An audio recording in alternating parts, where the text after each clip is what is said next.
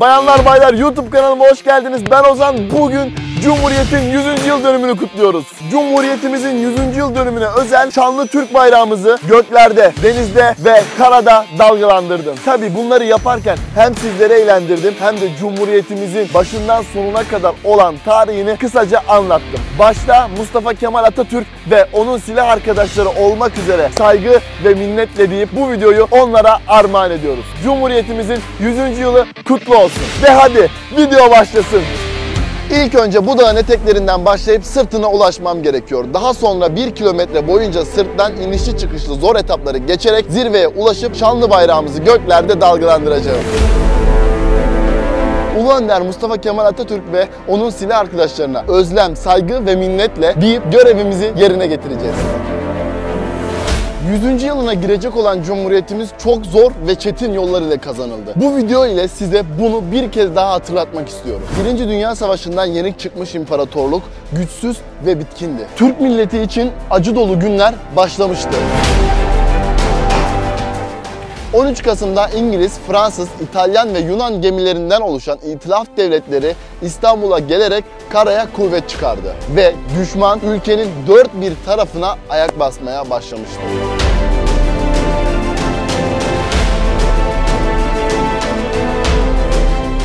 O dönemde şartlar hiç kolay değildi arkadaşlar. Bugün bu video ile bunu daha iyi anlayacaksınız. Çantamda görmüş olduğunuz 1,5 litrelik su aldım. Yemek bile almadım. Şikayet etmeden, sızlanmadan şanlı bayrağımızı göklerde dalgalandırmak için devam ediyoruz.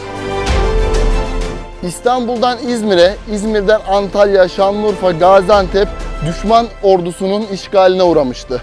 Ve 16 Mayıs 1919'da Mustafa Kemal İstanbul'dan ayrıldı. Ertesi gün İnebolu'ya, 18 Mayıs'ta da Sinop'a vardı.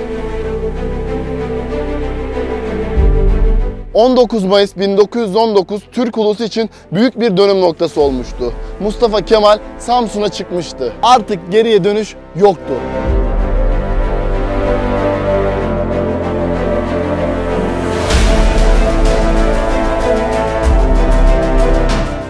Cumhuriyetimizin 100. yılına özel hazırlamış olduğum bu videoyu umarım beğenirsiniz. Çok zorlanıyorum ama bugün hiçbir şeyin önemi yok. O yüzden durmadan devam. Hazırlıklar başlamıştı. Mektuplar, anlaşmalar, gizli görüşmeler sürüyordu ve tarihe şu sözler kazıldı. Vatanın tamamiyeti, milletin bağımsızlığı tehlikededir. Milletin bağımsızlığını yine azmi ve kararı kurtaracaktır. Yani şunu söylemişti. Ya istiklal ya ölüm. Görmüş olduğunuz gibi iki tarafı da uçurum sağ ve sol aşağı doğru gidiyor. Benim şu dik sırttan düşmeden geçip zirveye ulaşmam gerekiyor ki bayrağımızı açabileyim.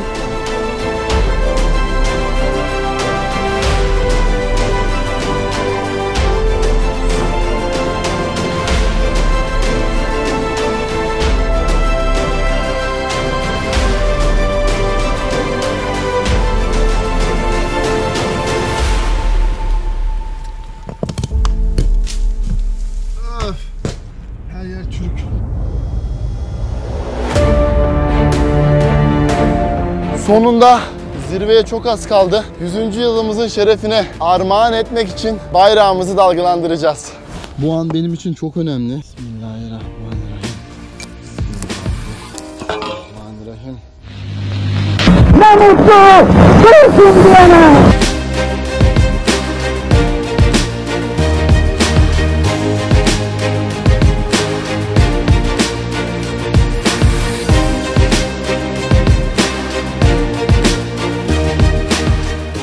Ulusun topraklarını koruma mücadelesi 10 Ocak 1920 İnönü mevkilerinde şiddetli çarpışmanın sonucunda 1. İnönü zaferiyle başarıya ulaşmaya başlamıştı. 1 Nisan'da 2. İnönü zaferi kazanıldı. Tabi bu süreçte meydanlarda başarılar, masalarda alınan kararlar gibi başarıyla geçiyordu. 23 Ağustos 1920 Yunan ordusu taarruza geçti ve Sakarya Meydan Muharebesi başladı. Günlerden 26 Ağustos ve Mustafa Kemal şunları söyledi. Hattı müdafaa yoktur, sattı müdafaa vardır. Vatanın her karış toprağı vatandaşın kanıyla ıslanmadan terk edilemez demişti. 13 Eylül Sakarya Meydan Muharebesi sona ermiş Düşman Sakarya Nehri'nin doğusundan imha edilmişti. Zafer kazanılmıştı. Ülkede daha sonra genel seferberlik ilan edildi. Dört bir bucak Türk topraklarının düşman çizmesi altındaki esareti birer birer son buluyordu. Ulusal Kurtuluş Savaşı sona ermiş ve şimdi zaferi masada kutlama zamanıydı. Mustafa Kemal Atatürk şu sözler ile vatandaşa seslenmişti. Efendiler yarın Cumhuriyeti ilan ediyoruz.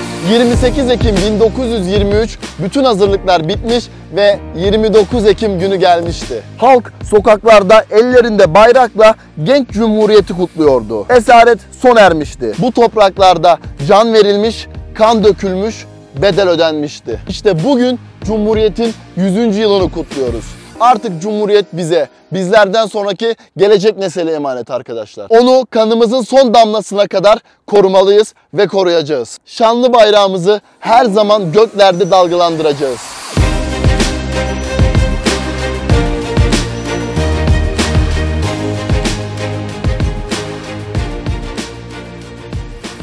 Ertesi gün denizin derinliklerinde şanlı bayrağımızı dalgalandırmak için erkenden uyandık. Bu topraklarda işte Cumhuriyet tarihi bu şekilde başladı. Peki Cumhuriyet kuruldu ama Cumhuriyet'le birlikte neler geldi?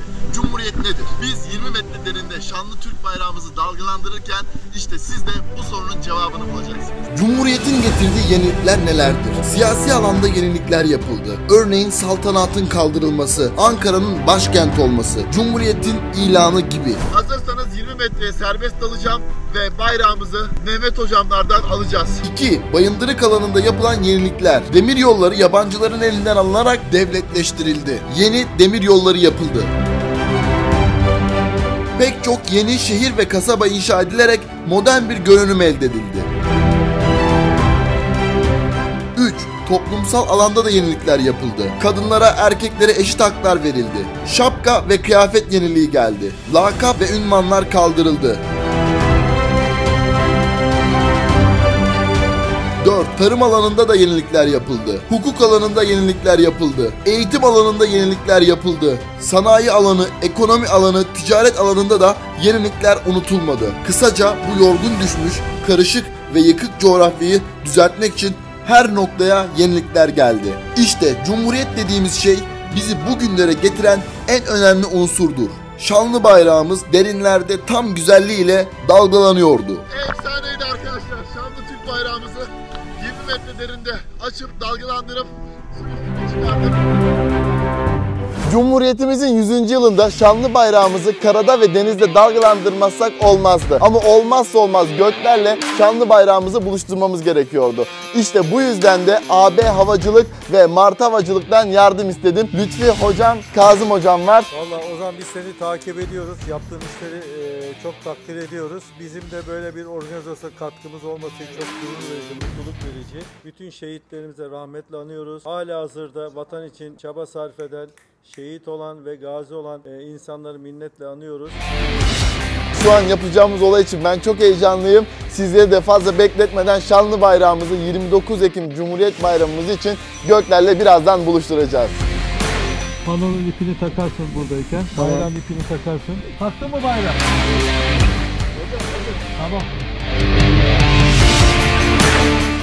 Ateş.